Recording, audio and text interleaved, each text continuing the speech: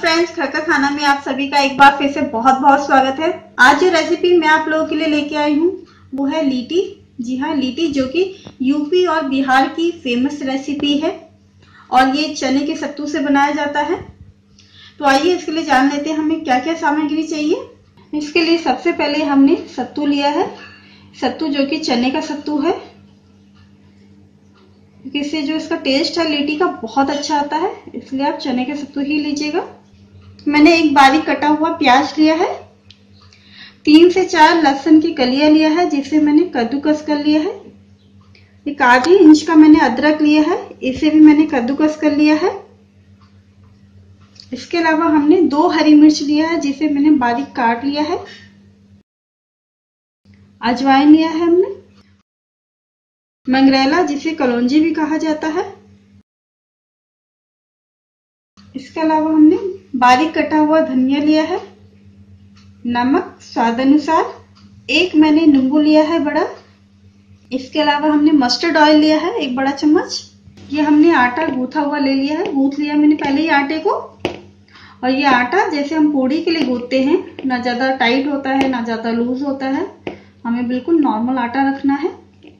तो आइए हम लीटी के स्टफिंग तैयार कर लेते हैं। स्टफिंग हमें कैसे बनानी है देख लेते हैं। सबसे पहले हमने बॉल लिया है। इसमें ये जो हमारे चने का सत्तू है हम डालेंगे। अब इसमें जो हमारे बारीक कटे हुए प्याज है, ये डाल लेंगे। लहसुन डालेंगे। क्योंकि हमने कद्दूकस करके रखा हुआ है। इसी तरीके से अदरक बारीक कटा हुआ हरी मिर्च अजवाइन जिसे हमने एक छोटा चम्मच लिया है। इसके अलावा हमने आधा चम्मच कलौजी, जिसे मंगरेला भी कहते हैं, ये डाला है। धनिया पत्ता, नमक की बारी आती है, जिसे हम स्वाद अनुसार डालेंगे।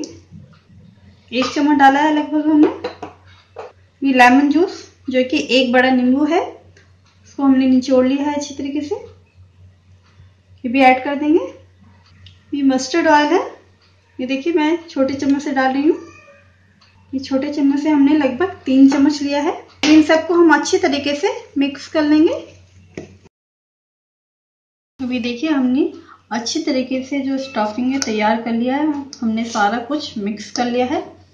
लेकिन अभी इसमें हम थोड़ा सा पानी डाल के और इसको मिलाएँगे। जो हमारी स्टफिंग है, इसको अच्छे से हमने तैयार कर लिया है। देखिए।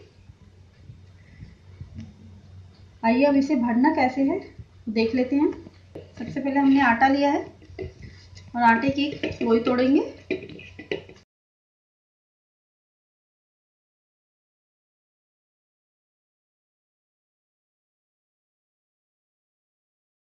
अब ये हमने मीडियम आकार के लोई काट लिए हैं।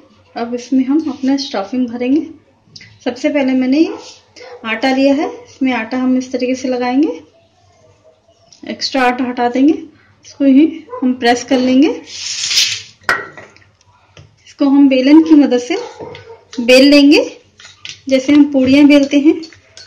इस तरीके से, इस तरीके से बेलने के बाद इसे हम इस तरीके से हथेली पे रखेंगे।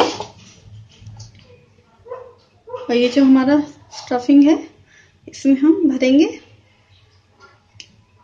याद रहे, बहुत ज़्यादा ना भरें, वरना जब हम इसे फ्राई करेंगे, तलेंगे तो ये निकल सकती हैं। और इसको हम इस तरीके से बंद करेंगे, घुमाते हुए अच्छी तरीके से। इसको हम हल्का सा बेल लेंगे। इसको हम हल्का सा बेल लेंगे ये देखिए इस तरीके से। तो मैं इसे एक बर्तन पे रखूँगी। मैंने एक थाली लिया है। इसमें मैं सूखा आटा है, इस तरीके से डाल दूँगी ताकि ये चिपके नहीं।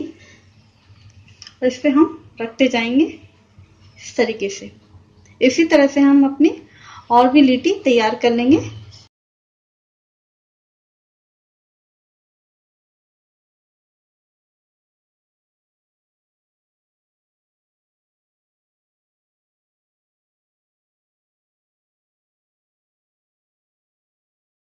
अब ये हमने अपनी लीटी तैयार कर ली है।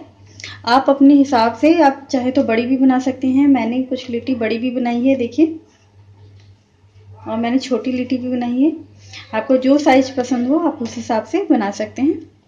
इसे तलने के लिए मैंने कढ़ाई में तेल गरम कर लिया है। मैंने यहाँ रिफाइन का इस्तेमाल किया है। आप चाहें तो मस्टर्ड ऑयल भी यूज़ कर सकते हैं। हमारा तेल गरम हो गया है। सबसे पहले मैंने ये एक लीटी उठाई है, देखिए। इसका जो एक्स्ट्रा आटा है, क्योंकि हमने इसे आटे पे रखा हुआ था, इसका हम जो आटा है वो अच्छे तरीके से हटा देंगे और एक साइड में हम रखते जाएँगे। आइए सबसे पहले आप इसे हम, जो हमारा तेल बिल्कुल गर्म हो गया है, इसमें हम डाल लेते हैं। और अब मैंने जो मेरा फ्लेम है, आँच है, बिल्कुल मैंने कम कर दिया है। इसे हम कम आँच पे डालेंगे। एक साइड से डालते चले जाएँगे।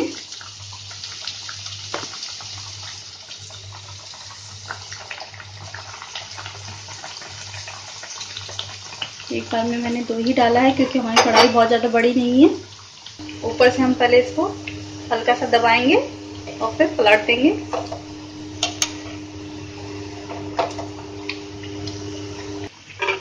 ये देखिए, एक साइड हमारा जो है हल्का सुनहरा कलर हो चुका है।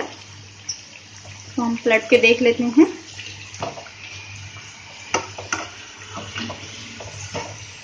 अभी हमारे दोनों साइड गोल्डन कलर हो चुके हैं। इसको हम निकाल लेंगे।